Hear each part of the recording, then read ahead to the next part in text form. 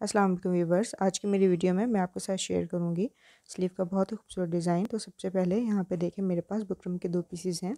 इन दोनों पीसेस की चौड़ाई जो है वो मैंने फ़ोर फोर इंचज़ ली है और इसमें से एक बुकरम की लंबाई जो है वो सेवन इंचज़ है और दूसरी बुकरम की लंबाई यहाँ पर मेरे पास सिक्स इंचज़ है। अब हमारे पास जो फ़र्स्ट पीस था जिसकी लंबाई सेवन इंचज़ है, इसको हम यहाँ पर फोल्ड कर लेंगे अच्छे तरीके से। फोल्ड करने के बाद यहाँ पे टू इंचज़ पे मैंने एक मार्क किया है और इस तरीके से हम इसको लाइन ड्रॉ कर लेंगे। अब इस लाइन ड्रॉ जो हमने की है, इसको हम कट कर लेंगे। कट करने के बाद ये देखें, इस तरीके से हमारे पास शेप आ जाएगी। अब हम यहाँ पे एक और लाइन ड्रॉ करेंगे। हमारे जो दोनों कॉर्नर्स हैं, इनको इस तरीके से हम मिला के एक बिल्कुल स्ट्रेट लाइन ड्रॉ कर लेंगे। स्ट्रेट लाइन ड्रॉ करने के बाद यहाँ पे हमने, ये देखें थोड़े थोड़े फासले पे इस तरीके से लाइनिंग करेंगे। यहाँ पे स्ट्रेट लाइन ड्रॉ करते जाएँगे और फिर थोड़े से फासले पे दूसरी लाइन जो है वो ड्रॉ करेंगे।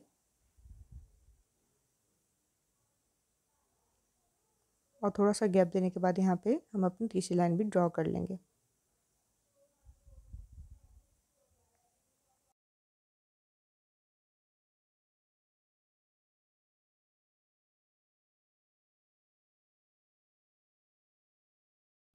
इसके बाद यहाँ पे मेरे पास एक नॉर्मल थ्रेड है।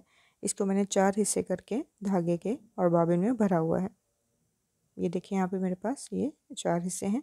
इसके बाद जो बुकरम के पीसेस हमने कट किए थे, उसको हमने एक्स्ट्रा फैब्रिक पे पेस्ट कर लिया है और चारों तरफ़ जो है वो हमने हाफ़ हाफ़ इंच का मार्जिन छोड़ा है। यहाँ से हम थोड़ी सी लाइनिंग करेंगे एक साइड पे और यहाँ से हम अपनी सिलाई स्टार्ट करेंगे। ताकि नीचे जब हम एक्स्ट्रा का फैब्रिक रखेंगे तो हमारी वो वाली सिलाई उसके अंदर आ जाएगी और यहाँ पर हम इसको सिलाई लगा लेंगे। जो नॉर्मल थ्रेड को हमने चार हिस्से करके भरा है, जब हम इसकी सिलाई लगाएँगे तो बिल्कुल ये एंकर थ्रेड की सी लुक आएगी यहाँ पे हम देखें जहाँ से हमने मार्किंग की है, उसी मार्किंग के ऊपर से हमने यहाँ पे सिलाइयाँ लगा लेनी है।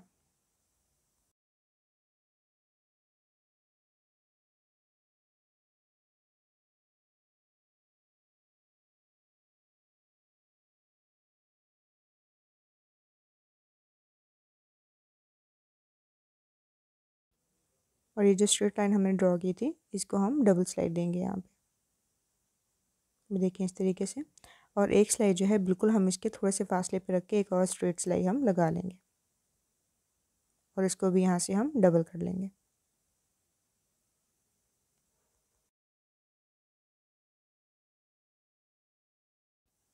ये देखिए कुछ इस तरीके से हमारा पैटर्न बन के तैयार हो गया है। अब इसके बाद यहाँ पे देखिए मेरे पास इसी मेरी शर्ट के साथ का एक्स्ट्रा बॉर्डर है। ये इसके शर्ट के बिल्कुल साइड पे था। तो इसी को मैं यूज़ करके डिज़ाइनिंग करूँगी। ये जो हमारा दूसरा एक्स्ट्रा फैब्रिक के ऊपर हमने पेस्ट किए हुई है बुकरम की, इसके ऊपर हम रख के इसको लगाएँगे और हमें इसके साइज़ की इसको कटिंग कर लेनी है। यहाँ पे देखें क्योंकि हमारी पट्टी काफ़ी चौड़ी है तो हम इसको साइड से जो है वो उतार लेंगे। ये देखें इस तरीके से। अब हमने इसको डबल कर लेना है। डबल करने के बाद हम इसको, ये देखें इस तरीके से, एक और फोल्ड देंगे। फोल्ड देने के बाद यहाँ पे हमने इसको निशान लगा लेना है कैंची के मदद से।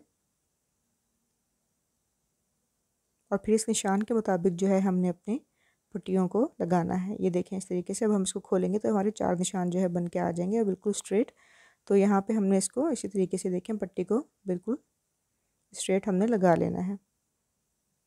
एक सिलाई लगाने के बाद दूसरी साइड है, उसके ऊपर भी इसी तरीके से नीचे की तरफ़ हम कपड़ा फोल्ड करते जाएँगे और सिलाई लगाते जाएँगे।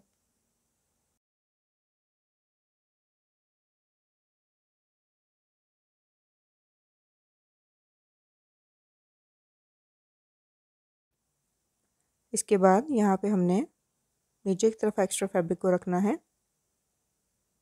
और तीन साइड पे इस तरीके से हमने सिलाई लगा लेनी है।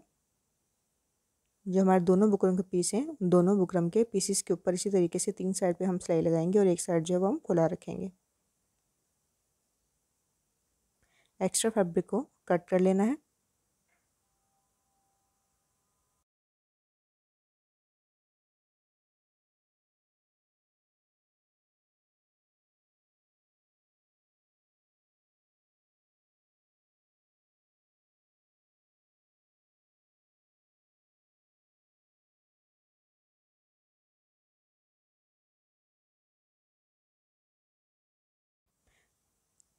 एक्स्ट्रा फैब्रिक को कट करने के बाद यहाँ कॉर्नर्स पे हमने इसको थोड़े से कट लगा लेना है, ताकि जब हमारी नोक बने तो वो बहुत सफ़ाई के साथ बने और इस तरीके से हमने इसको सीधा कर लेना है।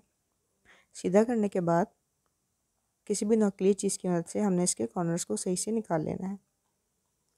कॉर्नर्स निकालने के बाद यहाँ पे हम बिल्कुल इसके किनारे पे रख के इसको सिलाई लगा लेंगे।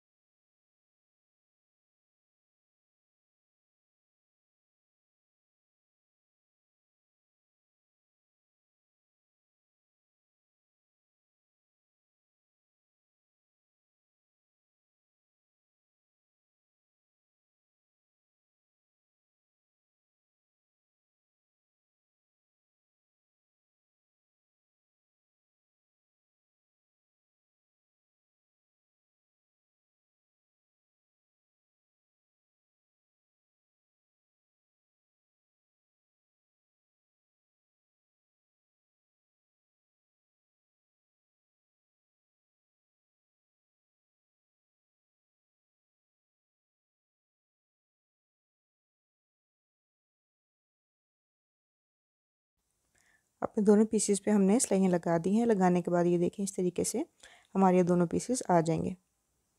अब हमने नीचे वाले पीस के ऊपर अपना फ्रंट वाली साइड रखनी है, ऊपर वाले पीस की, और यहाँ पे हमने इसको डबल सिलाई दे देनी है।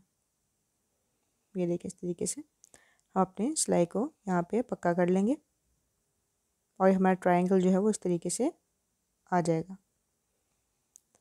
अब यहाँ पे मैंने हमारी स्लीव ली है। स्लीव की कटिंग करते हुए आपने ये ध्यान रखना है कि आपने अपनी स्लीव को ऑलमोस्ट फोर इंचज़ छोटा रखना है। मेरी जो टोटल लंबाई थी वो ट्वेंटी टू है, लेकिन मैंने इसको सेवनटीन रखा है और प्लस किया है एक इंच का मार्जिन तो मेरे पास एटीन इंचज़ आया था। और फ्रंट से भी मैंने अपनी जो स्लीव है, उसकी जो घेर है वो एटीन इंचज़ ही रखा है। यहाँ पे ये देखिए, इस तरीके से हम प्लेट लगा लेंगे अपनी स्लीव को।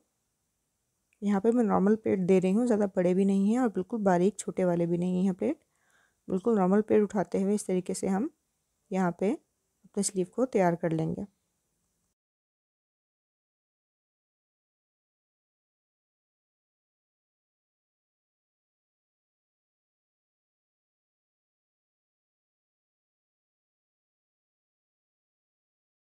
इसके बाद, ये सिलाई देने के बाद यहाँ पे बिल्कुल किनारे पे रख के मैं एक और सिलाई लगा लूँगी। ताकि हमारे जो एक्स्ट्रा धागे हैं वो निकले नहीं। आप चाहें तो यहाँ पे ओवरलॉक भी करवा सकती हैं। ये सिलाई लगाने के बाद जो हम अपना फ्रंट साइड की पैटर्न तैयार किया हुआ है इसको, इसके ऊपर रख के। ये देखें इस तरीके से पहले हमें दरमियान कर लेना है अपने स्लीव का।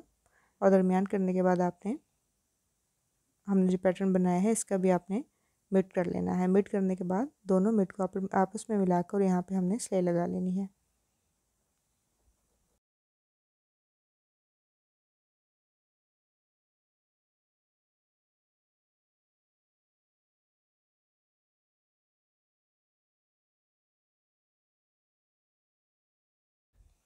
ये सिलाई कंप्लीट करने के बाद हम अपनी अपनी स्लीव को बंद कर लेना है। ये देखें इस तरीके से बंद करने के बाद यहाँ पे हमने अपनी स्लीव को सिलाई लगा लेनी है।